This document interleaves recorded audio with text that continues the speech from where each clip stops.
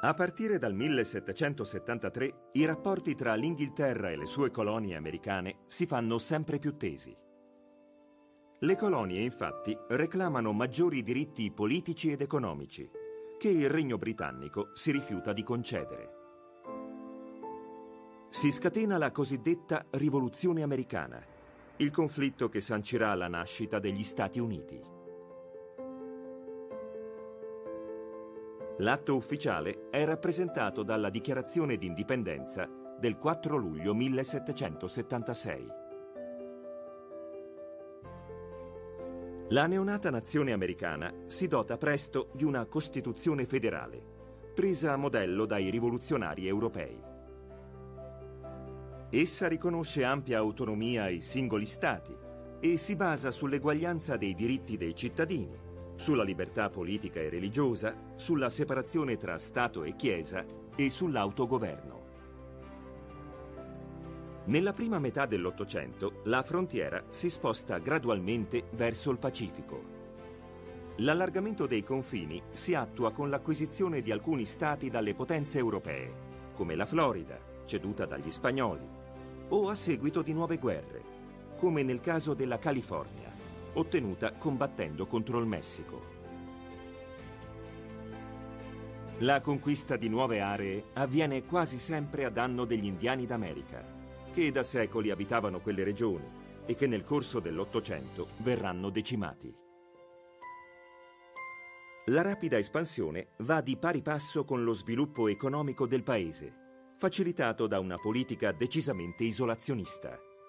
Gli Stati Uniti cercano infatti di garantirsi le condizioni ideali per la crescita economica, tenendosi lontani dai conflitti europei e impedendo alle varie potenze l'intromissione negli affari interni. Ma l'isolamento internazionale non può eliminare i contrasti all'interno del paese, così profondi da portare alla sanguinosa guerra civile che sarà combattuta a poco meno di un secolo dall'indipendenza. La parabola di Abraham Lincoln in qualche modo è la parabola degli Stati Uniti. Eh, Lincoln riassume in sé il mito fondante della nazione, la self-reliance, la capacità di fare affidamento su se stessi, autogestirsi, autogovernarsi e crescere e svilupparsi e cambiare nel corso del tempo. Lincoln veniva da una famiglia di agricoltori, di piccoli proprietari che provenivano dal sud, si erano spostati suo padre eh, Thomas era andato in Kentucky, dove aveva cominciato a coltivare la terra e a crescere economicamente, anche se in modo molto relativo. E questo era un po' il risentimento di Abram da ragazzo, il fatto che il padre fosse cresciuto, avesse migliorato un pochino le proprie condizioni, ma non avesse raggiunto poi un successo. E infatti eh, Lincoln comincerà a lasciare giovanissimo eh, la casa dei genitori, l'Illinois, andrà a sud eh, a cercare fortuna, ma anche a cercare se stesso fondamentalmente. Comincerà a cambiare stile di vita, si trasferisce poi a Springfield, che è uno dei grandi centri dell'Illinois allora, sposerà eh, una donna che viene dalla borghesia e comincia a studiare diritto, eh, diventa un avvocato, ma la sua grande attrazione è la politica, indiscutibilmente. Eh, già negli anni 30 comincia a candidarsi al Parlamento, al legislativo eh, dello Stato dell'Illinois, riesce a vincere per eh, tre volte consecutive eh, un seggio nel 36, 38 e 40 e eh, praticamente eh, compie quel sogno americano, appunto, quell'ideale dell'uomo che riesce a elevarsi dalla sua condizione di contadino a contatto con la natura, eh, che però è fondamentale e formativa dell'identità americana, eh, per arrivare alla, eh, addirittura a occupare un seggio nella legislatura dello Stato. Ovviamente Lincoln farà molto di più di questo perché negli anni 40 scende di nuovo in politica, eh, è un Whig, arriverà nel 1846 anche al congresso. Nel 1948 lascerà il, il seggio del congresso in un momento in cui la storia internazionale sta trasformando profondamente, sta prendendo diciamo, il sopravvento sulla volontà delle elite al potere, sulle guide moderate, se non addirittura autoritarie in Europa eh, nei diversi paesi che cercano libertà e indipendenza e che guardano in qualche misura anche agli Stati Uniti eh, non come necessariamente un modello, ma come un punto di riferimento. Parliamo ovviamente del 1848, delle grandi rivoluzioni. In che misura, eh, per esempio in Italia, si guardava agli Stati Uniti e viceversa, gli Stati Uniti guardavano all'Italia in quel processo di costruzione dello Stato-nazione, di indipendenza, di affermazione dei principi della libertà. Molti americani viaggiano in Italia eh, in quegli anni, partecipano addirittura, ci sono esempi di combattenti, per non parlare del forse più luminoso esempio di partecipazione di una liberal repubblicana radicale americana, Margaret Fuller, alla Repubblica Romana nel 1849, per non parlare dei viaggi di Garibaldi eh, negli Stati Uniti e della sua popolarità negli Stati Uniti. Una partecipazione sicuramente a un movimento di idee prima di tutto, e poi anche eh, di popolo che sta trasformando l'organizzazione stessa degli Stati-nazione, anzi li sta completando. Ecco, gli Stati Uniti in questo senso, nella loro costruzione e ricostruzione della nazione, eh, trovano degli interlocutori in Europa, di certo in Francia, in Italia, in Germania e in buona eh, parte anche nel Regno Unito. La Costituzione americana del 1787 prevede una federazione di Stati, in cui ogni singolo Stato possiede un'ampia autonomia negli affari interni. A livello centrale, invece, il potere esecutivo è detenuto dal Presidente degli Stati Uniti e dal governo da lui nominato. Mentre il potere legislativo è prerogativa del Congresso, un organo politico composto dalla Camera dei rappresentanti e dal Senato. I membri della Camera sono eletti in proporzione alla popolazione dei singoli Stati. Invece i membri del Senato sono due per ogni Stato e in origine vengono designati dai vari parlamenti nazionali. L'organizzazione del Senato è alla base della stabilità politica perché impedisce agli Stati più grandi di dominare sul Congresso e imporre così la propria volontà. Questa architettura istituzionale rappresenta il punto di equilibrio tra i vari orientamenti politici dei padri fondatori, divisi tra coloro che vogliono difendere le prerogative degli Stati e quelli che cercano di dar vita a un organismo unitario forte e compatto.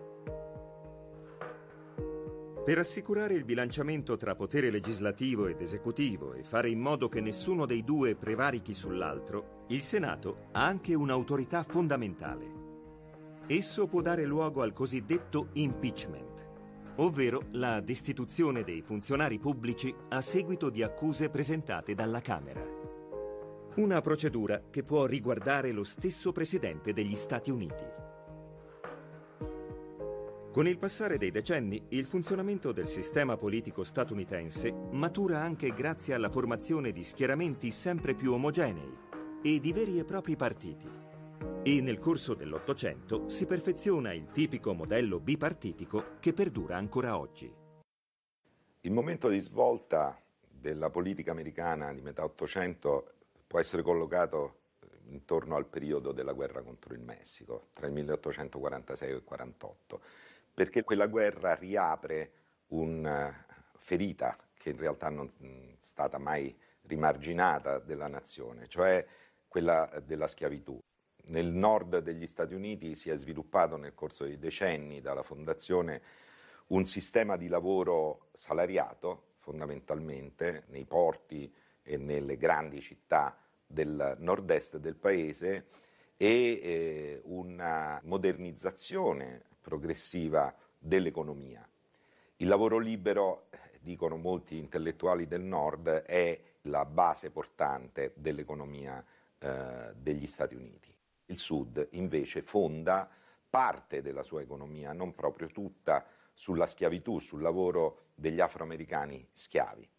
Bisogna tener conto che nel 1831 intanto si era formato un nuovo movimento per l'abolizione della schiavitù, un movimento abolizionista che prendeva le sue mosse anche da principi religiosi, dall'ingiustizia e dall'idea che si stessero violando i principi stessi della fondazione della nazione. Nella dichiarazione di indipendenza eh, Jefferson, che ne era eh, per la buona parte l'estensore, aveva eh, fissato un principio, che tutti gli uomini sono creati uguali e dotati dal loro creatore, recita la dichiarazione, di uguali diritti. Eh, questi diritti però non si estendevano evidentemente, eh, soprattutto nel sud, ai, eh, agli schiavi, che non erano considerati eh, alla stregua di altri esseri umani. E qui infatti Lincoln al congresso degli Stati Uniti fondò una sua battaglia eh, chiedendo ripetutamente agli avversari del Sud se si potevano considerare gli schiavi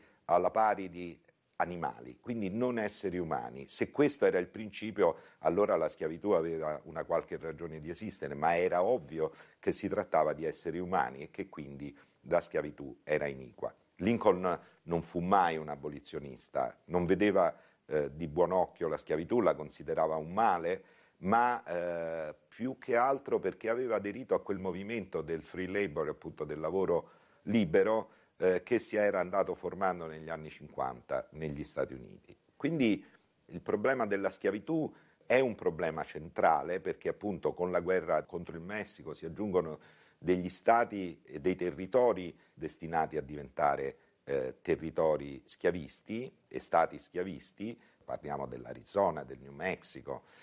e, e parte della California, e che sollevano un problema, cioè la parità tra stati eh, del sud e stati del nord nel congresso, sebbene dal punto di vista numerico la popolazione del nord sia in modo schiacciante superiore a quella del sud, dove tra l'altro buona parte della popolazione è eh, schiava. Quindi eh, c'è un problema fondante che eh, ovviamente mette in opposizione due sistemi economici, due sistemi di valori che si so, sono andati separandosi sempre di più, due modi di concepire lo Stato-nazione. Il eh, problema della schiavitù indiscutibilmente era centrale. Certo non entrò eh, direttamente nella questione della spaccatura poi che si creò nel 1860 perché nessuna delle due sezioni in realtà voleva riconoscere che quello era uno dei problemi, sia da un punto di vista economico che da un punto di vista etico. Gli Stati Uniti d'America nascono su basi egualitarie ma fin dalle origini la presenza degli schiavi rappresenta la principale contraddizione del paese sul piano dei diritti. La prima formulazione della Costituzione americana non esclude infatti la schiavitù e bisognerà aspettare il 1808 perché venga almeno vietata la tratta degli schiavi dall'Africa. L'economia degli stati del sud dipende però in misura rilevante dal lavoro servile e nel corso dell'Ottocento il numero degli schiavi cresce continuamente, fino a raggiungere la cifra di circa 6 milioni nel 1860. Nel nord industriale comincia intanto ad aver maggior presa il movimento abolizionista, che porta alla progressiva eliminazione della schiavitù in varie aree del paese. Un contributo fondamentale a questo movimento è fornito dalla pubblicazione del 1852 del romanzo La capanna dello zio Tom. Il racconto delle penose condizioni degli schiavi e delle brutalità a cui sono sottoposti ha un grande impatto sull'immaginario popolare, non solo americano, ma anche europeo. Lo spostamento della frontiera verso il Pacifico aggrava le tensioni tra le opposte fazioni Mentre i grandi proprietari del sud chiedono l'estensione a ovest delle piantagioni di cotone e dello schiavismo, il nord chiede di diffondere la coltivazione dei cereali, offrendo ai piccoli coltivatori terre a buon mercato. La battaglia è ormai diventata politica e gli attriti tra abolizionisti e schiavisti si trasformano sempre più spesso in violenti conflitti. Nel 1853 si scatena perfino una guerra civile all'interno del Kansas, prima avvisaglia dei tremendi scontri del decennio successivo. Solo con la guerra di secessione si giungerà alla promulgazione del tredicesimo emendamento, che nel 1863 abolisce la schiavitù in tutto il paese. Tale atto non risolve però il problema della segregazione dei neri che anzi caratterizza la storia americana di gran parte del Novecento, soprattutto nei territori del sud. Con eh, la Costituzione del Partito Repubblicano nel 1856 Lincoln ritorna eh, alla ribalta politica negli Stati Uniti e, e, soprattutto in un interessante confronto nel 1858 che è un po' una specie di anticipazione della moderna politica spettacolo eh, americana. Consideriamo che eh, eh negli Stati Uniti dell'Ottocento in realtà la politica è qualcosa di molto vissuto dalla popolazione, dalla gente che va a assistere ai dibattiti politici un po' come si assiste a dei match di box. Eh, si va in piazza, gli oratori si confrontano a volte anche duramente, a volte insultandosi, eh, si mettono uno di fronte all'altro sostenendo di avere ovviamente eh, l'interpretazione migliore di come il governo dovrebbe essere condotto, di quali sono i meriti e i demeriti eh, della propria parte, di quali sono soprattutto i demeriti della parte avversa. E nel 1858 eh, Lincoln si trova a eh, confrontarsi per un seggio al Senato con l'incumbent, cioè il senatore in carica rappresentante dell'Illinois, che è un uomo di altissimo profilo politico e grandissima notorietà, Stephen Douglas, che lui ha già incontrato a più riprese nel confronto non solo politico ma anche personale, si erano per un periodo contesi la stessa donna che poi Lincoln aveva sposato, ma Douglas lo aveva ripetutamente battuto eh, da un punto di vista politico. E così nel 1858 Douglas e Lincoln si incontrarono sette volte e ogni volta riuscirono a, a, a trascinare eh, molte persone al loro confronto, parliamo di migliaia di partecipanti, di, di, spettatori, che tifavano letteralmente per l'una o per l'altra parte. La politica era vissuta in modo molto profondo e molto diretto anche dagli elettori. Il rapporto governanti-governati su cui si fondava eh, il patto costituzionale faceva sì che appunto gli elettori si sentissero parte in causa del eh, confronto politico. Lincoln finì per perdere diciamo, nelle elezioni, ma da un certo punto di vista viene considerato il vincitore morale di quel confronto. Perché? Perché Douglas insistette soprattutto su un fatto, sul fatto che c'era una differenza tra governo federale e volontà degli stati e volontà del popolo e che quindi doveva darsi precedenza alla volontà di un singolo Stato e che se quello Stato, non che Douglas fosse necessariamente uno schiavista, ma se quello Stato aveva scelto la schiavitù, era giusto che il governo federale rispettasse la volontà del singolo Stato. Lincoln invece insisteva sulla immoralità della schiavitù e sul fatto e sui principi della dichiarazione di indipendenza e della Costituzione. A quelli continuava a fare appello. Lincoln faceva riferimento appunto alla dichiarazione di indipendenza, chiedendosi quando è che questa nazione ritornerà davvero ai principi della dichiarazione di indipendenza, cioè a quel principio che tutti gli uomini sono creati uguali. Lincoln era stato accusato ovviamente dai suoi detrattori, dai suoi avversari, di essere in realtà un amico dei neri, eh, un, eh, un, sostenitore della parità del, dei diritti e delle condizioni tra neri e bianchi. In realtà Lincoln non era appunto un abolizionista e eh, ripetutamente nei suoi discorsi aveva manifestato l'opinione che per lui l'importante era che anche loro potessero godere dei benefici della libertà, che erano il principio portante della nazione. Ecco, in questo Lincoln si rifaceva eh, per molti versi ai principi fondanti della nazione, a una democrazia partecipativa che non fosse riservata ai pochi, ma che eh, consentisse a tutti di esprimere la propria opinione e di contribuire al benessere del governo, un governo che non doveva eh, invadere diciamo, la privacy e l'individualità di ciascuno. E quando arrivò al potere nel 1860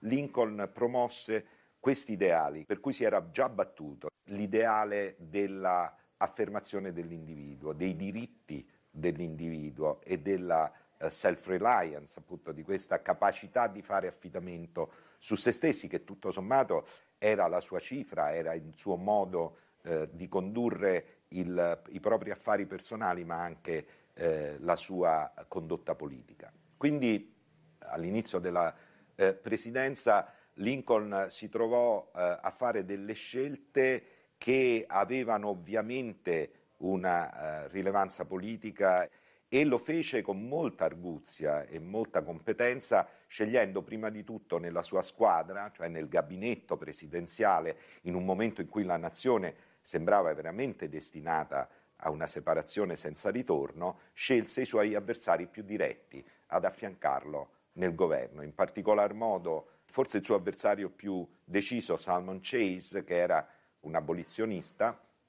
per affiancarlo in un governo che doveva in qualche modo, a suo avviso, rappresentare le tante nature degli Stati Uniti, ovviamente degli Stati Uniti del Nord. Qualcuno sostiene che Lincoln volesse la guerra, volesse eh, mettere a tacere una volta per tutte le eh, rivendicazioni eh, del Sud, in realtà, eh, come diceva lui stesso, eh, gli eventi trascinano a volte gli uomini e la storia e quindi Lincoln sicuramente non era disposto a cedere alla disunione, perché l'unione era il suo principio fondamentale, ma dall'altra non è che volesse davvero la guerra, anzi probabilmente pensava che arrivati sul, sull'orlo della guerra gli americani si sarebbero resi conto della distruzione che questa avrebbe comportato e della gravità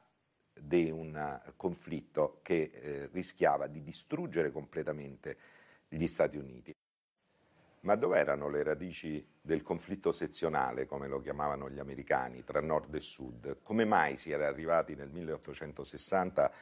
eh, addirittura a una guerra civile eh, che costò tantissime vittime e dolore e problemi economici al paese? Beh, le radici erano già alla fondazione degli Stati Uniti perché gli Stati Uniti avevano portato insieme nel periodo della guerra contro eh, la Gran Bretagna, il distacco dalla madrepatria, 13 colonie, 13 stati poi erano diventati, che volevano in qualche misura mantenere la loro autonomia rispetto al governo federale. E il conflitto era cominciato già allora tra quelli che venivano chiamati federalisti e antifederalisti in realtà federalisti, al contrario di quello che noi siamo abituati a pensare, erano coloro che volevano una centralizzazione dello Stato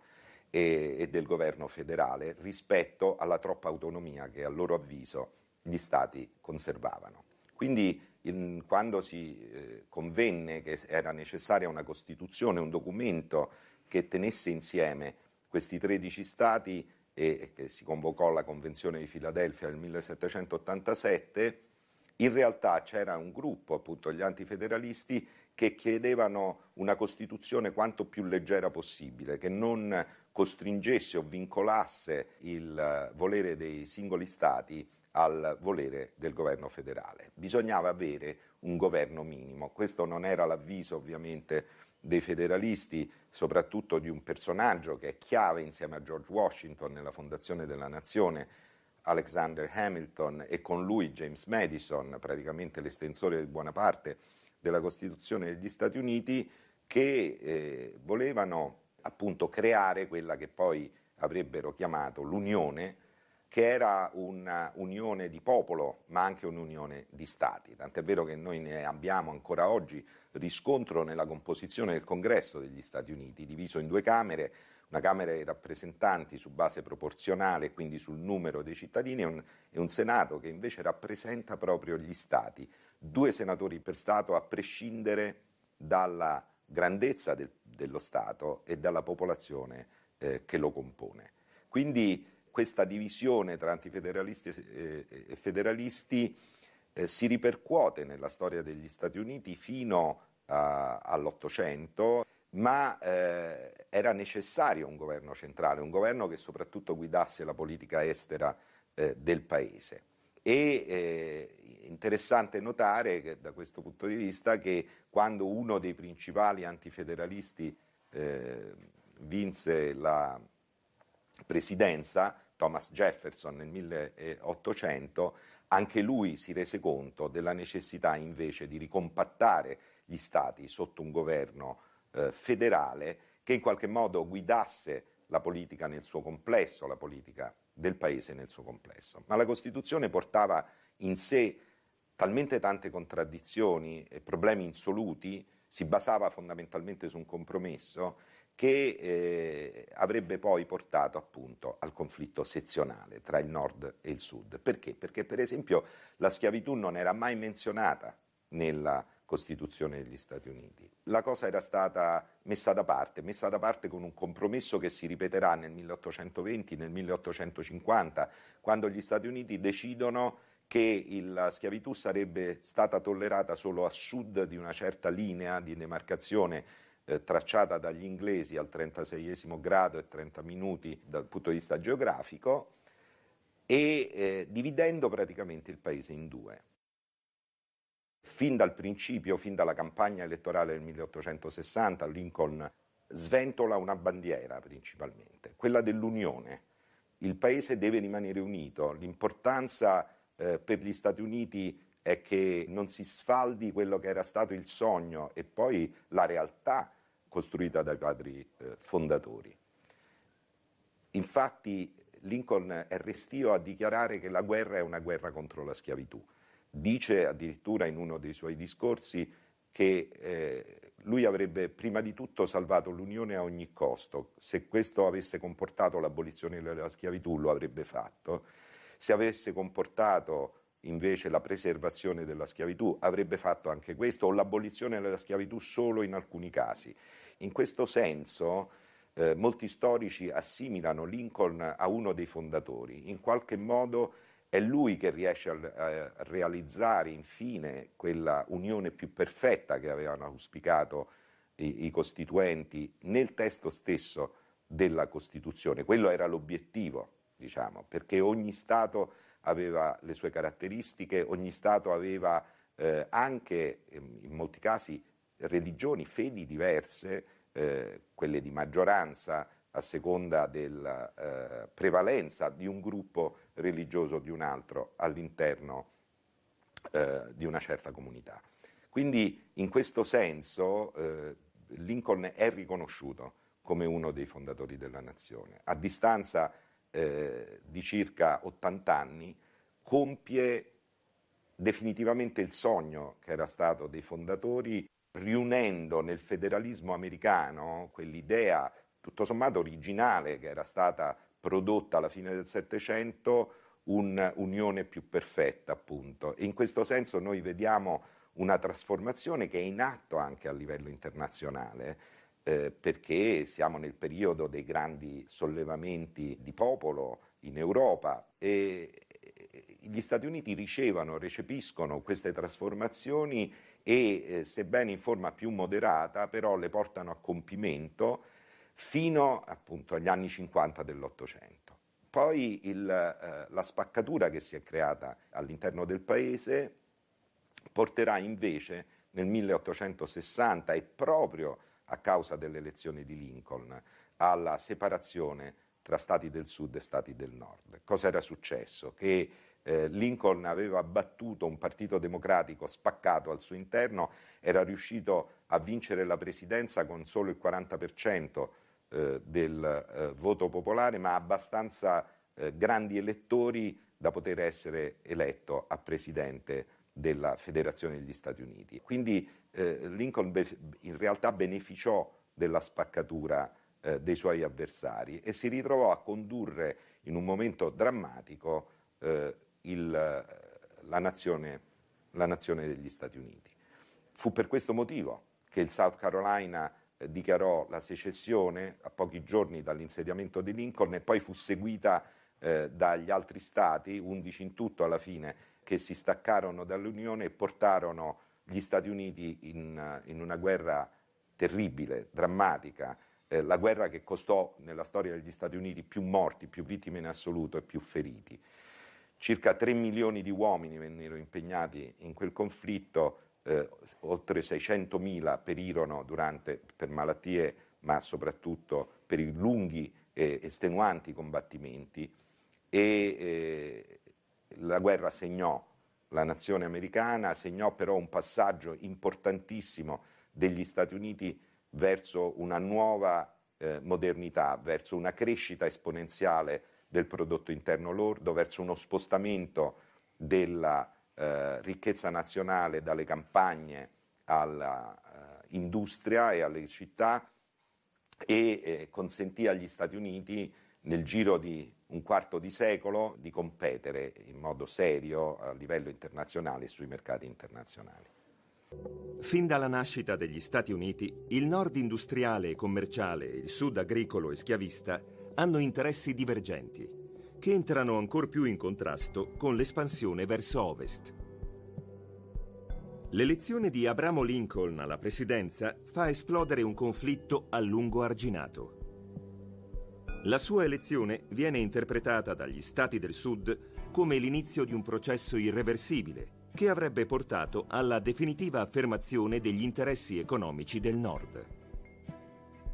Così, tra la fine del 1860 e l'inizio del 61, dieci stati del Sud decidono la secessione e danno vita a una confederazione indipendente che ha come capitale Richmond, in Virginia. Il rifiuto degli altri stati di accettarne l'indipendenza fa scoppiare la guerra civile americana. Il Nord può confidare su due fattori che alla fine risulteranno determinanti. Esso rappresenta la maggior parte della popolazione dell'Unione e vanta una schiacciante superiorità economica. Nonostante ciò, le prime fasi della guerra sono tutte a favore dell'esercito sudista guidato dal generale Robert Lee. Ma tale situazione non può reggere sul lungo periodo, anche perché lo sforzo bellico degli Stati confederati dipende dalle importazioni, che vengono ostacolate dal blocco marittimo operato dalla flotta nordista, decisamente superiore a quella avversaria. Nel 1863 iniziano le vittorie nordiste e l'avanzata dell'esercito comandato da Ulysses Grant sembra a quel punto inarrestabile. Dopo aver perso il controllo della maggior parte degli stati, il 9 aprile 1865 i confederati si arrendono. La guerra civile non risolve però le grandi contraddizioni del paese. Pochi giorni dopo la fine del conflitto, il presidente Lincoln viene assassinato da un fanatico sudista e nel giro di pochi anni il Sud ripristina il regime di segregazione razziale destinato a durare ancora per molto tempo. La guerra civile è indiscutibilmente un uh, evento di portata internazionale e dicono gli storici transnazionale perché non interessò soltanto gli Stati Uniti ma molto anche l'Europa. Le, gli europei inviarono osservatori per studiare quella che viene da molti considerata la prima guerra moderna, in realtà una guerra violentissima, sanguinosissima, una guerra anche di trincea e di posizionamento. Tutte e due le parti, nord e sud, dovettero ovviamente lavorare molto alle loro relazioni diplomatiche per eh, farsi amici e sostenitori i paesi d'Europa e soprattutto a due grandi potenze, la Gran Bretagna e la Francia. Tant'è vero che gli Stati confederati del Sud mandarono in Europa, in Francia e in Gran Bretagna dei diplomatici che eh, fossero in grado di convincere le due potenze a schierarsi dalla parte degli Stati confederati, a sostenerli perché in fondo la loro sorte era molto legata al sostegno internazionale. Tra l'altro, come aveva detto un leader del Sud già anni prima, eh, il Sud faceva affidamento eh, su quello che veniva chiamato il re cotone, perché il cotone era diventata una materia prima fondamentale che dava lavoro a milioni di operai in Europa e quindi molti facevano affidamento proprio su questa capacità eh, di influenzare le scelte delle due grandi potenze su base economica. C'era una nuova nazione che si era da poco creata e che diede subito il suo sostegno all'Unione senza esitazione, mentre invece Francia e Gran Bretagna continuavano a guardare con una certa simpatia agli Stati confederati del Sud l'Italia. Il Regno d'Italia si era creata tra l'altro anche con un buon sostegno e simpatia da parte americana e immediatamente riconobbe il diritto ovviamente all'unificazione, non poteva entrare in contraddizione con quanto era avvenuto nel 1861 nel paese. E quindi lo scambio di diplomatici aveva favorito anche questa reciproca simpatia e aveva consentito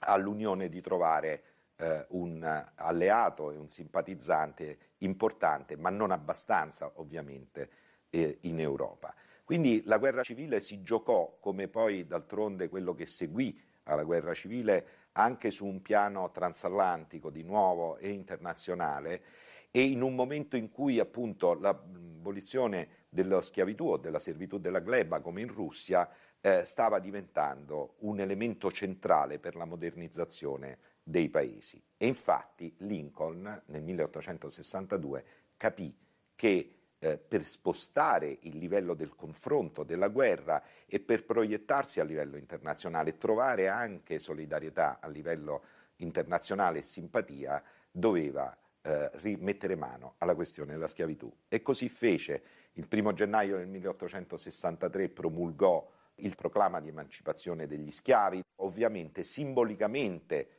questo gli garantì il sostegno e la simpatia dei paesi e di molti leader, lo stesso Garibaldi lo promosse a apostolo della libertà internazionale. E Lincoln si batté finché fu in vita, venne ucciso nell'aprile del 1865 da un attore, un fanatico eh, prosudista, eh, proprio tra il, la fine del 64 e il 65 mise mano anche alla Costituzione. Per introdurre un emendamento alla Costituzione degli Stati Uniti e menzionare finalmente la schiavitù.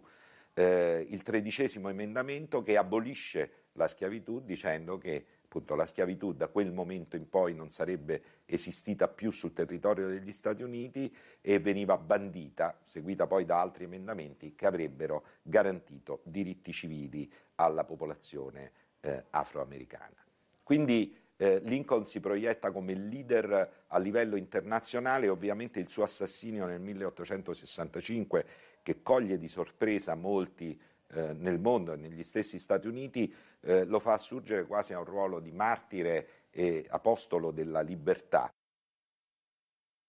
Con la fine della guerra civile gli Stati Uniti si erano quindi proiettati definitivamente a livello internazionale, anche se c'era una certa resistenza e ci si erano proiettati non solo per motivi geopolitici o diplomatici, ma anche e soprattutto per la loro potenza economica. La guerra aveva chiuso quel conflitto sezionale con un eh, dominio del nord sopra il sud, con l'affermazione dell'economia eh, del capitalismo industriale e del commercio, facendo di grandi città del nord il punto di riferimento del paese. Non è che questo fosse quello che Lincoln aveva auspicato, anzi, come dice un suo biografo, eh, probabilmente Lincoln, eh, se fosse eh, vissuto più a lungo, si sarebbe stupito delle conseguenze che la guerra civile aveva avuto. Lo sviluppo appunto, del prodotto interno lordo degli Stati Uniti fu progressivo e costante, toccando anche a volte,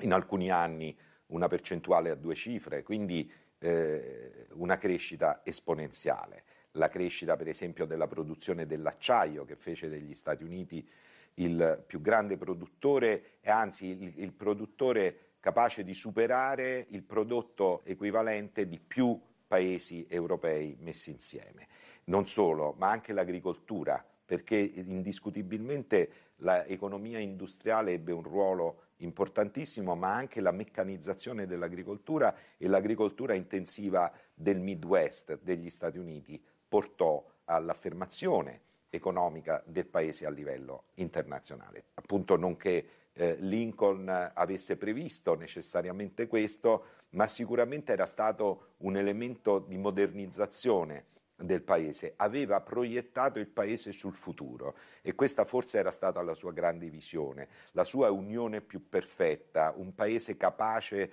di autorealizzarsi e di competere alla pari con le grandi potenze internazionali. Ovviamente questo non poteva non comportare anche dei grandi conflitti all'interno eh, degli Stati Uniti per una serie di ragioni. Innanzitutto quello che gli Stati Uniti e i leader degli Stati Uniti non volevano ammettere che era il conflitto tra capitale e lavoro, tra eh, chi deteneva il capitale in quella che va sotto il nome di Gilded Age, no? l'età dorata, un'età di apparenze dove una eh, piccola elite concentrò nelle sue mani il grande capitale degli Stati Uniti e che attrasse però al tempo stesso moltissimi lavoratori da tutte le parti del mondo. Siamo appunto tra gli anni 80 e 90 dell'Ottocento, quando la grande immigrazione porta milioni di nuovi lavoratori non specializzati negli Stati Uniti che portano con sé anche però una tradizione di sindacalizzazione o perlomeno di organizzazione di società di mutuo soccorso che si mettono in conflitto diretto con il grande capitale. La formazione delle grandi trade unions, dei grandi sindacati americani che tutelano gli interessi però spesso a livello etnico, quindi delle lacerazioni interne che mettono in discussione quell'unità tanto faticosamente raggiunta dal Paese. E eh, questo confronto verrà superato con la crescita eh, continua del Paese che si riflette nella creazione di una modernissima eh, società dei consumi che già all'inizio del Novecento è in grado di essere in concorrenza con, anzi di superare in molti casi eh, le economie delle grandi potenze europee. Il secolo si apre con tra l'altro l'affermazione di un nuovo personaggio tutto americano che in qualche modo eh, ripercorre un po' eh, l'ideale, sebbene lo costruisca molto a tavolino, dell'uomo venuto dal nulla, e parlo di Theodore Roosevelt, che proietta definitivamente il eh, paese nella modernità del Novecento. Il 1900 sarà un secolo in cui gli Stati Uniti, prima con il loro intervento nella Prima Guerra Mondiale e poi ancora di più con la partecipazione alla Seconda Guerra Mondiale, allargano le proprie ali, eh, le ali dell'aquila americana sul mondo, prima di tutto sull'Atlantico e poi ovviamente anche sul Pacifico quando includeranno insieme all'Alaska come Stato a metà del Novecento, come Stato dell'Unione, le Hawaii. All'inizio del Novecento gli Stati Uniti sono ormai una eh, grande potenza, o perlomeno una grande potenza eh, quasi matura,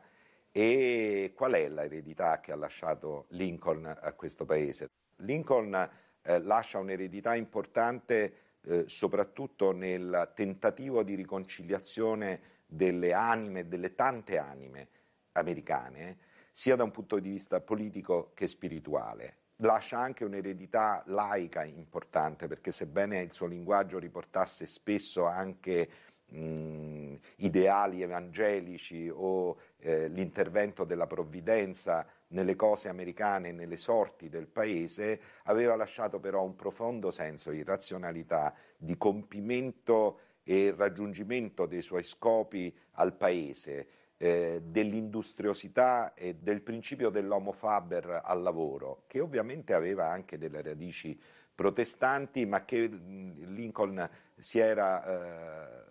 in qualche misura guardato bene dal confondere tra principi religiosi e principi politici. Ecco, l'iniziativa politica,